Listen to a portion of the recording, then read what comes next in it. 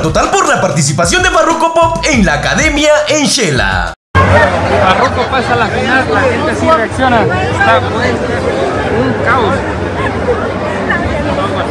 Amigos, ¿qué está pasando con Farruko Pop en Guatemala? La gente se ha vuelto loco por la llegada del artista guatemalteco en la Interplaza Shela para participar en el casting de la Academia 2024. Prácticamente los fans casi no lo dejaron entrar en su casting. Amigos, casi se comen a Farruko Pop en vida. Me sorprende, es increíble que cientos de personas han llegado para conocer al cantante y quitarse una fotografía del recuerdo. Es tanta la gente que según informaciones no confirmadas, la Interplaza se encuentra totalmente lleno. Esto es lo que provoca el artista más famoso de toda Guatemala. Simplemente Farruko Pop callando bocas. Y ahora muchas personas dicen que Farruquito será el ganador sorpresa. ¿Qué opinan ustedes amigos? ¿Será que Farruko Pop se va a llevar el primer lugar? La verdad no sé. Y amigos, vamos a escuchar unas palabras del artista Chapín previo a su casting. Esto es lo que dijo.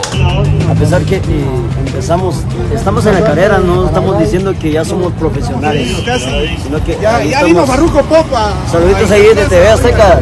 Gracias por estar, eh, tanto cariño que nos dio ayer. Pues muchas gracias a TV Azteca, un, ca- un canal claro más divertido. pues, no se Ok. sabe si, si va, a Vamos, vamos, va a vamos al pasar al siguiente filtro o, no va a pasar. Hay expectativas, hay expectativas, la gente pues que siga a Farruko, que lo quiere, que le tiene cariño, lo viene a apoyar, ¿verdad? Y, y- y muchos dicen de que está comprado, de que ya saben de que Farruko va a llegar a la Academia México. A ver, aclara el Farruko, ¿es así o no es así? Mira, nosotros, esa, esa academia, ni nosotros eh, estamos pidiendo nada. Ahí de todos los TV Azteca saben. Nosotros no estamos eh, pidiendo para que, para que yo participe en esa, en esa casting de academia. Nosotros no estamos, sino que solo Los jueces son los, los que jueces. deciden. Tú venís como cualquier persona a participar a la persona. Yo solo acepté todas las invitaciones de las personas que ellos tantos que etiquetaron mi nombre ahí y pues por eso acepté. Eso, eso, bueno.